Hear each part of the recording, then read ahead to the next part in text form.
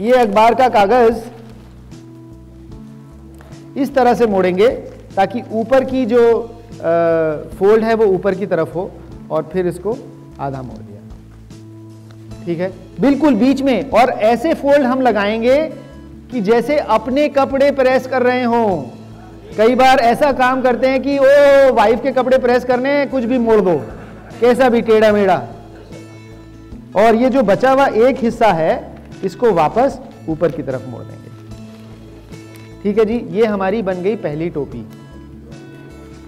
और इस टोपी को छत्तीसगढ़ में खुमरी कहते हैं। खुमरी।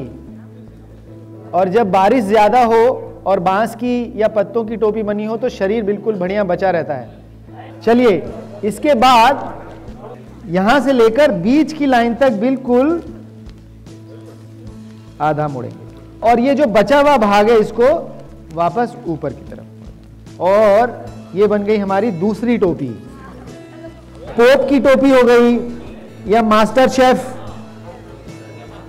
खानसामा उनकी टोपी हो गई। अब इसके बाद ये ऊपर वाला जो त्रिकोण है, इसको मोड़कर अंदर डाल देंगे। किस तरफ़ अंदर डालेंगे? जिस तरफ़ आखिरी फोल्ड करा था। जिस तरफ़ ये वाला फोल्ड करा था, उसी तरफ़ मोड़कर ऊपर का त्रिकोण अंदर बिठा देंगे। ठीक है? और ये बन गई हमारी तीसरी टोपी, गांधी टोपी। ये जो आपको शेप दिखी, ये किस तरह की शेप है? क्या स्पेशल है? रेक्टेंगल है। आयत है, इतना तो दिखता है, लेकिन एक खास तरीके का आयत है। क्या खास है?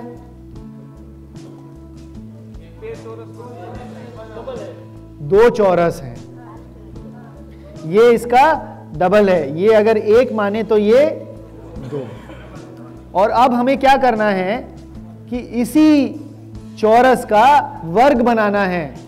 तो इसका क्षेत्रफल कितना हुआ? अगर ये एक है तो ये दो है। तो क्षेत्रफल कितना हुआ? दो हो गया। चार नहीं, दो। एक गुणा दो दो।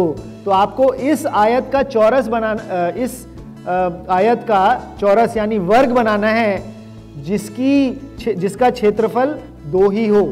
क्षेत्रफल इतना ही हो और चौरस बनाना है।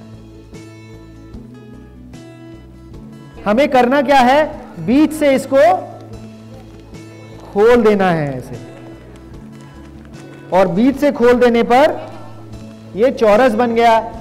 ये कैसे मान लें कि ये जो हमने वर्ग बनाया, इसका क्षेत्रफल, ये जो आयत था इसके बराबर है। मान लीजिए बाहर का भाग था दोनों तरफ़, वो बाहर का बाहर ही रहा। अंदर जो चीज़ थी, वो अंदर ही रही। तो जितना पहले एरिया था, उतना बाद में भी रहेगा। कोई नई चीज़ तो बाहर नहीं आई। मान लीजिए इसमें पूरा रंग देते तो शेप चेंज हुई है। तो जो एरिया पहले था, वही रहेगा। ये दूसरी मतलब अगर चार साल का भी बच्चा हो तो आप उसको दिखा सकते हैं। तो स्क्वायर की क्या साइड होनी चाहिए, ताकि एरिया दो हो? एक हो सकती है क्या? नहीं। अगर एक और एक है तो एक गुणा एक?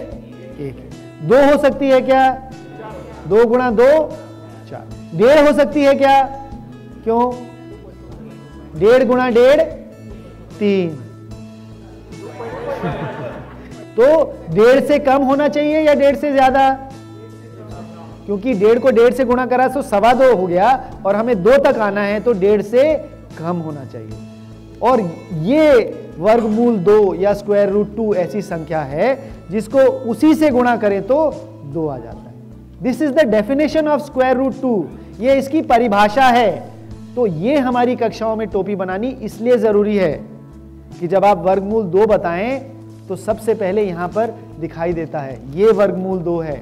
एक दो रेक्टेंगल दो एरिया के रेक्टेंगल को अगर दो एरिया का स्क्वायर बना दिया तो जो उसकी साइड होगी, वो वर्गमूल दो होनी पड़ेगी, या वो उसकी परिभाषा है। आप क्या करेंगे? यहाँ पर इसको ऐसे खोल लेंगे ताकि ये कागज़ की जो खुला हुआ भाग है, आगे की तरफ़ हो। और अब ये ऊपर जो त्रिकोण बचा है उसको ऐसे मोड़ेंगे कि बीच की लाइन तक आए।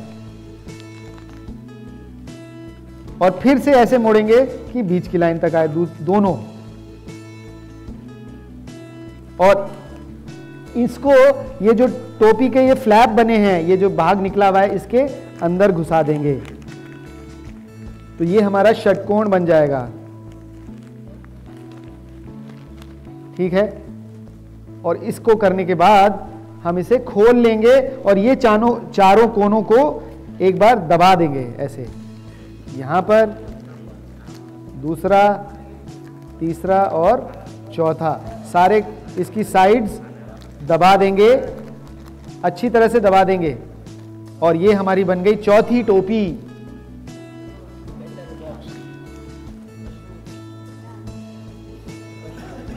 कश्मीर कश्मीर की टोपी। कुछ लोग बोलते हैं हिमाचल की टोपी। अब आखिरी टोपी बची है और उसके लिए उसको हम क्या कहते हैं? ग्रेजुएशन कैप अब क्या करेंगे? ये जो दो ट्रायंगल आपने अंदर डाले थे, इनको बाहर निकाल लें। और फिर हवा में भी फेंकेंगे और फिर से सर पे लगा लें। अब ये ग्रेजुएशन कैप हो गई। एक, दो, तीन।